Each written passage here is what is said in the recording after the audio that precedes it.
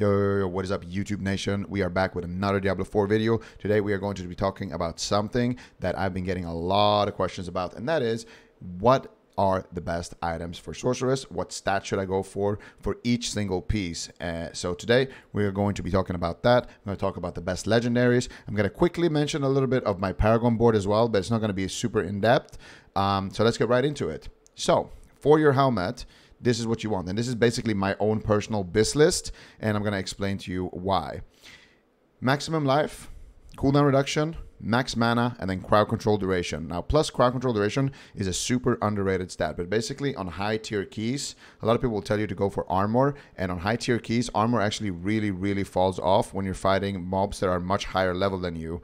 Um, so armor kind of becomes a uh, becomes a useless stat as soon as you're fighting these really high level mobs in like these plus 80 keys. So for end game, uh, crowd control duration is a lot better because it just allows your freeze to last much longer. You can see here my Nova is 5.22 seconds. I take this off and it's 4.78 seconds. That's going to allow you to proc more Ice Shards enchantment because as long as they stay frozen, you're continuously procking this, and that's going to allow you to get more mana regen. Uh, it's going to allow you to just do more damage essentially and also take less damage. So super, super underrated stat that not a lot of people are telling you to pick, but this is for sure the best in my opinion. As far as chest goes, you want to go for Raiment of the Infinite pulls mobs in, makes it easy to group mobs, and it allows you to access those multiplicative um, modifiers for stuns. So this is super, super important. It allows you to deal with those annoying like suppressor elite packs, for example, very, very easily. You just blink on top of them, Nova, immobilize them, and then one-shot them. Um, as far as gloves go, this is universally the best for every single sorcerer's build. Attack speed, lucky hit, crit chance, and then plus rank of whatever your main skill is. So if you are uh, Chain Lightning Sorc, you want plus four uh, Chain Lightning. If you are an Ice Shard Sorc or you know a Blizz Sorc or whatever, uh, you want plus four of Ice Shards. Um, in terms of legs, you want damage reduction, most important stat. Damage reduction from distant enemies uh, maximum life and then damage reduction from close enemies. Now you could get armor. I haven't found one with damage reduction from close enemies like a pair of legs. So this is what I'm using right now. Um, but uh, you can go damage reduction from burning enemies as well. Very viable. Now, if you also, uh, about the chest, don't want to use uh, this chest and you want to opt for a more defensive build that just kind of sits back and uh, spams damage and freezes, that's completely fine. And in which case, this is what you want.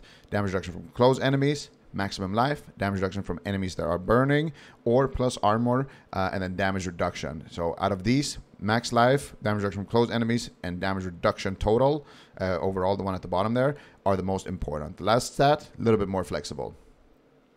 Boots, the most important stats on your boots are going to be plus ranks of Nova, and plus ranks of teleport and mana cost reduction. Now, every single sorcerer's build on a high end doesn't use a basic skill. So that means you're spamming a core skill the whole time. You're spamming mastery skills and you're spamming cooldowns. You're not using, you know, uh, a Frost Nova or an Arc Lash or something like that, unless you're playing Arc Lash build literally.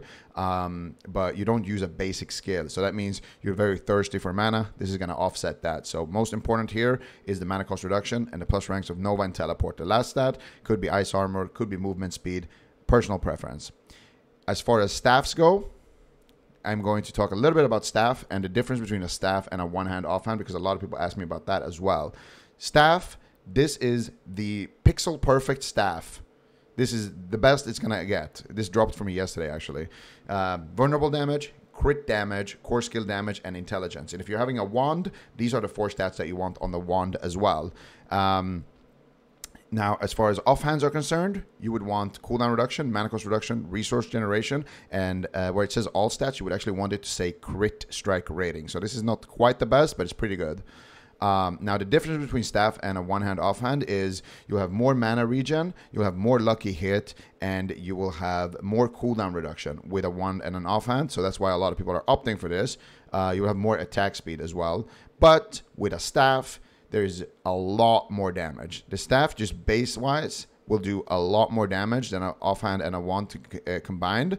Uh, if they're at the same, you know, uh, item power, that's one thing. The other thing is your legendaries. Now, a lot of people uh, mistaken mistakenly think that a wand and an offhand is better because you get two legendaries.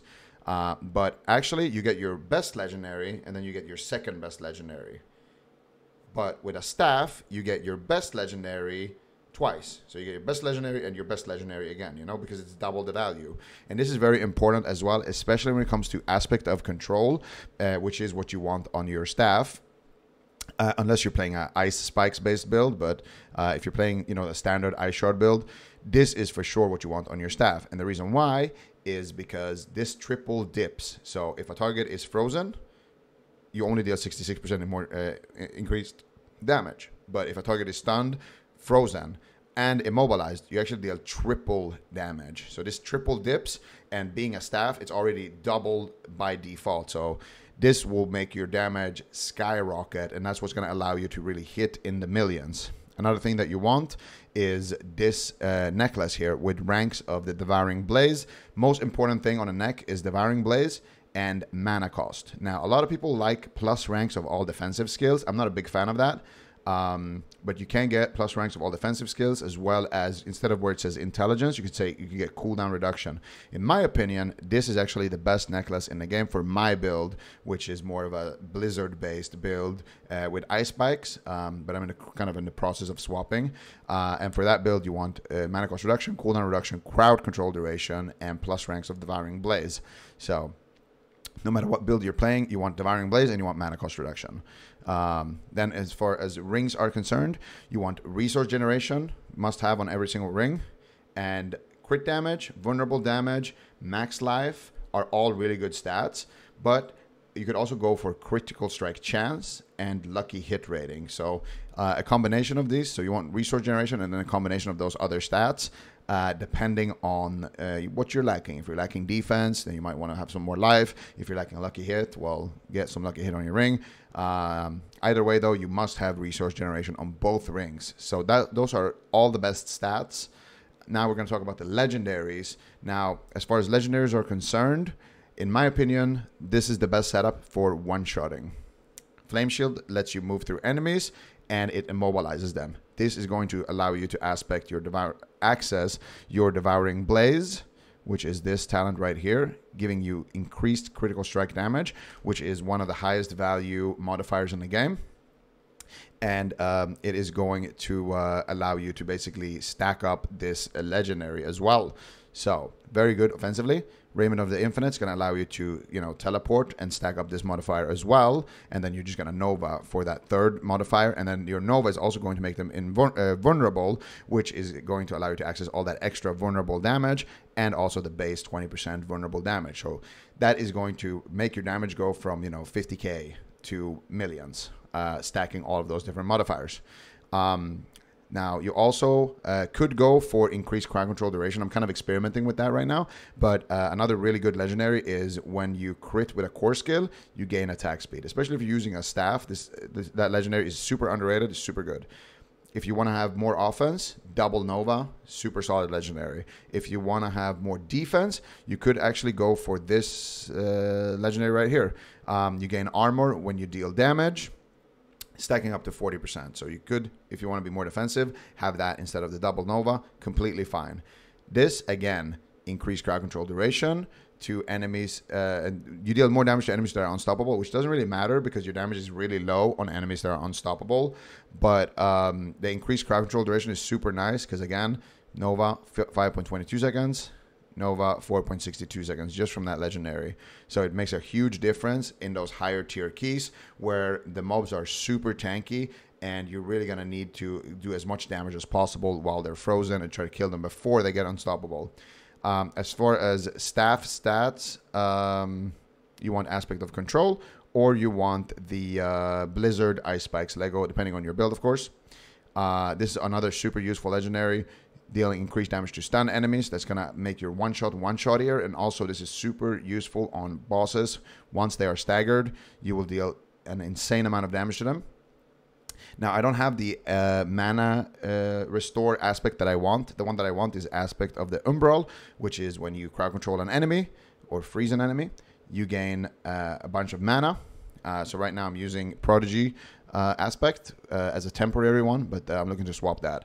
Uh, and then you want the Ice Shard Legendary as well. So now that we've gone through all of the items and all of the best stats, we are going to go through the Paragon board really, really quickly. We're not going to go through the entire thing. I'm just going to tell you what glyphs I went for, and then you guys can figure it out yourselves.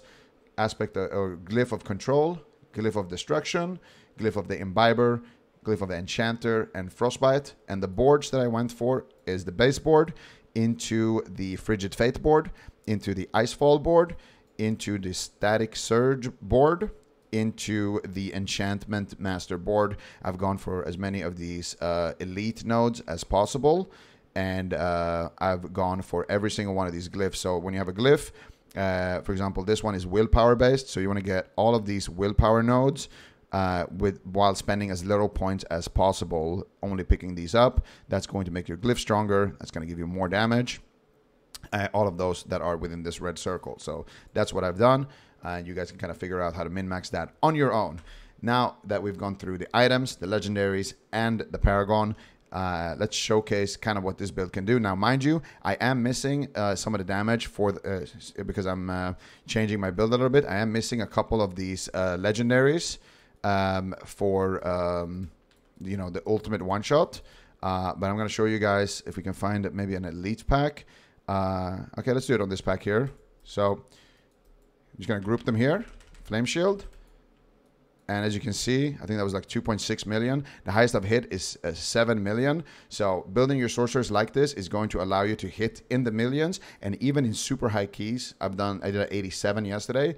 Um, and I'm level 90 and I was, I'm not even max level yet. I'm still missing also some of the renown. I'm missing uh, a lot of things here. Um, this is going to allow you to essentially one shot even the tankiest mobs in the game. So uh, this is, in my opinion, the most optimal way to build your uh, character for dealing damage. Um, the only annoying thing is that you are going to be a little bit squishy, so be careful out there. Uh, thank you for watching the video, and uh, I'll see you guys in the next one. Peace.